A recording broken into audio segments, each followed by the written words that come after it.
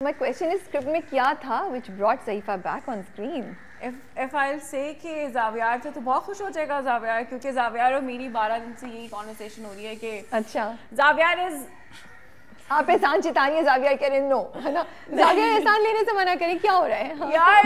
मैंने यार मुझे क्यों रगड़नी है यार? यार, मैंने कुछ यार, कहा मैंने कुछ इतना कोई क्यूटू है ना ये इंसान? अल्लाह सेल्फ ऑब्सेस तो मैंने सोचा था कि जितने जितने इंटरव्यूज़ होंगे ना मैं आई मेक श्योर कि मैं उनमें सिर्फ़ की तारीफ़ करूँ ताकि जो इसने 12 दिन स्क्रीन के पीछे किया जो लोगों को नहीं पता चला वो मैं स्क्रीन के सामने करूँ। बट नो है। खैर द एक्सपीरियंस तो went really well but it was comedy that जिसके लिए मैंने सबसे पहले हाँ कही because that was something that I didn't do before and obviously coming back on the screen after so long i wanted to do something different. So yeah that was that और आप बताएँ। सेम आंसर मैडम नहीं आपने ये नहीं कहना था कि सहीफा थी तो इसलिए मैं आया। आपने ये नहीं रिप्लाई देना था। नहीं मेरे लिए भी ये था दैट अब देखिए कहना पड़ेगा उन्हें सहीफा मैंने कहलवा दिया। मैंने कहलवा दिया यस हाई फाइव दूर से हम लगा का कि। ये ड्रामा कर रही है तो मैंने कहा ये तो मुझे करना पड़ेगा। करना वो सीनियर पड़ेगा एक्टर वाला भी जो बोलते हैं। और हैं। ऑब्वियसली इतनी सीनियर एक्सपीरियंस एक्ट्रेस एक ड्रामा कर रही और कम बैक कर रही और मैं ना करूँ ऐसे कैसे हो सकता What an honor for you, right? What an 100%. But also because I've I've never done comedy before, so Yeah. it was uh, something that I wanted to try out. और वो सिक्स सिक्स एपिसोड रहेंगे तो मैंने कहा चलो छोटा भी है और कॉमेडी भी है तो दोनों चीज़ें हो जाएँगी एक्सपेरिमेंट कर लेंगे ट्राई कर लेंगे. So that's what made me say yes to it अच्छा जब हम कॉमेडी देख रहे होते हैं ना स्क्रीन पे तो कभी कभी हमें लगता है बहुत मुश्किल है। कभी लगता है हाँ यार इतनी क्या आप दोनों का क्या एक्सपीरियंस था? आप लोग जब देखते थे क्या इंप्रेशन था? और जब खुद कर रहे हैं तो what was the reality like मुझे लगता है मेरे लिए अगर मैं कहूँगा कि मेरे लिए इजी था तो लोग उस पर भी कुछ बुरा कहेंगे। अगर मैं कहूँगा डिफ़िकल्ट था तो मैं झूठ बोल रहा सर हूँ लोगों को छोड़ें। आप बताएँ जो एक्चुअल मुझे मज़ा आया लोगों का तो काम है कहना ये you भी know, बात बिल्कुल ठीक? किया आपने। uh, मुझे तो पर्सनली इतना डिफ़िकल्ट नहीं लगा। I thought I was mostly just being myself. So it was all flowing very easily I did not have to work that hard okay so मेरा तो ये आंसर है। आप क्या कहेंगे? No I think he is he is very much on point मुझे obviously जब हम सेट पे 12-15 दिन से हैं uh, जब आप सीन करते हैं और सीन के बाद बाकी टाइम तो ऑब्वियसली आप फ्री होते हैं तो मुझे भी यही लगता है कि जैसे हमारी अपनी जो पर्सनैलिटी है वही कॉमेडी के अंदर ही आ रही है क्योंकि थोड़ा लिखा भी उस तरह से हुआ है। ऑल्सो रियली मैटर्स कि आपकी कास्ट में कौन है जैसे हमारे साथ हिना दिल पजीर हैं तो व्हेन शी एक्ट्स तो वो ना चाहते हुए भी चीज़ें Yeah. निकलती हैं राइट सो. वो दैट ऑल्सो रियली डिपेंड्स कि कौन है आपके साथ और क्या है। If you asking ask it कि मुश्किल था या नहीं था? uh, नहीं था। It was it was very well written and short तो मुझे लगता है कि सही है राइट मुझे तो हो। मैं बहुत सीनियर एक्टर आप मैं मेरे। यार खत्म करो लोग कहेंगे वो नहीं क्यों मैं बोल रही ये बात लेकिन नहीं मुझे लगता है कि वी हैड फन और एज सच कोई उस तरह से डिफिकल्टी महसूस नहीं हुई। अच्छा पहले बातचीत दोस्ती थी आप दोनों की you both are from Lahore तो क्या? Um, नहीं।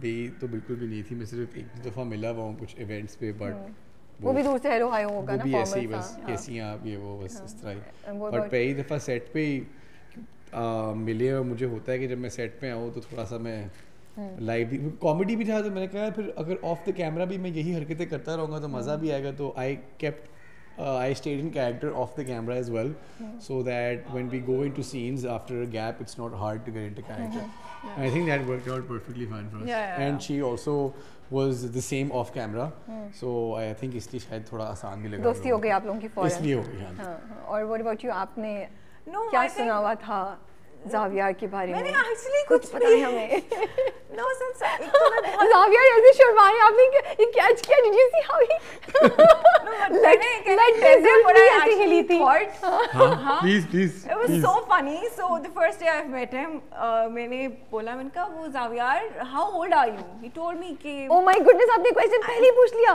then I was like हाँ. मैंने कहा shit मैंने कहा Xavier I thought you were married and you had a kid. And I'm 35 And then that you so my goodness और मुझे समझ नहीं आई कि अब मुझे इस पे एम्बेरस होना है या हमने इस जोक को एंड तक लेके जाना है और बहुत अच्छे से हमने फिर इस जोक को बिल्कुल एंड तक रखा। तो वो uh, मुझे लगता है कि बड़ा चल सीन रहा यार थ्रू आउट Yeah. हाँ we were not friends friends पहले लेकिन अभी ये कि Xavier is a very easy person to work with वो वाले कोई मसले मसाइल हैं नहीं टेंट्रम्स वाले या कोई भी और। uh, मुझे लगता है कि मैं बहुत शॉर्ट टेम्पर्ड हूँ और मैं मैं सेंसिटिव भी उतनी ज़्यादा हूँ Xavier keeps a school which is great and मुझे लगता है कि अगर ये सिर्फ़ मेरे शोल्डर पे होता ना ना होते कितने बड़े हो चुके होते।